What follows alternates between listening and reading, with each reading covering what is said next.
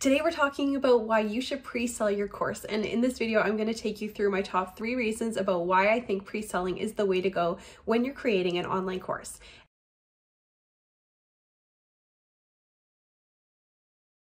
And if we haven't met before, I'm Brandy, I'm a college instructor and an online course creator and an accountant, so I'm pretty nerdy. And I teach entrepreneurs how to create, price, and sell their first online course to make it super easy for them. Let's dive into why I think that you should pre-sell your first online course. All right, the first reason I think that you should pre-sell your first online course is that you get money in your pocket. I know this seems super obvious, but if you're going into business to be an online course creator, obviously the purpose of your business is one to impact people and two to make you a profit. So I want you to have some money in your pocket. Number one, because that's the point of your business is to be making you a profit. But number two, you're also probably going to have some expenses associated with creating your first online course. Like if you have to get a Zoom membership or if you want to have a learning management system like Podia, like I use, or if you want to purchase a workbook template to make your life a little bit easier when you're making your beautiful worksheets. Those kinds of things are not expensive, but they do cost some money. So it's nice to have the money up front in order to be able to cover those expenses that you're going to have as they come up. The second reason I think that you should pre-sell your online course is to validate your course idea. And what I mean by this is to find out if people actually want to buy your course before you go through all of the painstaking process of actually creating, recording everything of your course. Now, if you've watched any of my other videos, you know that I don't think that you should pre-record your first course, but I know a lot of people like to do that because they think it's easier. Watch this video if you think that's easier. I'll explain why it's not. But I've worked with a lot of course creators who go through the process of painstakingly scripting everything, creating beautiful slides, creating beautiful workbooks, recording everything, getting it edited, going through the whole process, and then they never sell it.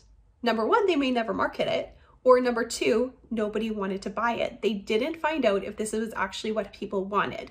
And I haven't had this in the online world because I always pre-sell my products. But as a college instructor, I've definitely had this experience. We've put up a new course for our students and I've gone through all of the process of creating my course outlines, creating exams, creating my lessons, figuring out what I'm gonna talk about in each class and getting really excited about teaching the class and then to not have any students enroll. We hadn't validated the course with the students before we put it up for registration and I prepped all my materials. So when I went into creating online courses, I said like, no, I'm never doing that because I don't want you to go through that same thing.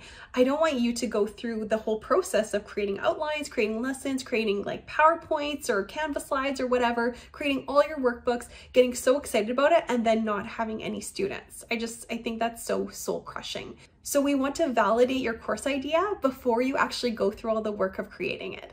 Now, I'm not saying to not have anything done. I like to have a really good framework in place before I go out and sell my course. Obviously, I want to know what I'm going to be talking about each week, but you don't have to create the whole thing before you sell it.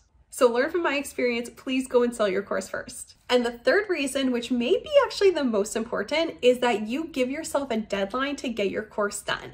And I know some of my students are going to be like, are you speaking directly to me for this one? Because I know a lot of people who say, I'm going to make a course, I'm gonna record it, it's going to be done on this day in the future. And the reason that this works is because you are putting your accountability on somebody else or somebody else is holding you accountable. So when we go through in our in our brains, we're like, oh, I want to make a course on this topic. So I have a course on course creation. So I'm like, oh, I want to make a course on course creation. If I just start making it, just start making my slides and my scripts and, you know, recording lessons, I might take forever to create that thing. And because nobody's holding me accountable, I'm only accountable to myself. I don't really have a true deadline. But as soon as I sell that to somebody and I say, okay, this course will be ready on this date in the future, say like it's going to be ready on March 1st, and now all of a sudden, I either need to produce recorded videos for that person who has paid me to take that course, or I need to teach it live to them. Either way is great, but it gives me a deadline that I'm held accountable to. So of course, all of a sudden, my course will get completed because someone's paid me for it. All right. So I think that's the most important one is that you actually give yourself a deadline for this thing to get out into the world. Otherwise, it could be years, quite honestly, that we could procrastinate on doing this, which I don't want for you. I want you to put your course out if that's what you want. All right, so just to recap why you want to pre-sell your course. Number one, you get money in your pocket. Number two, you get to validate your course idea. And number three, it gives you a deadline and someone else to be accountable to. Thanks for watching. And if you enjoyed this video, please give it a like and subscribe to my channel for more course and YouTube tricks.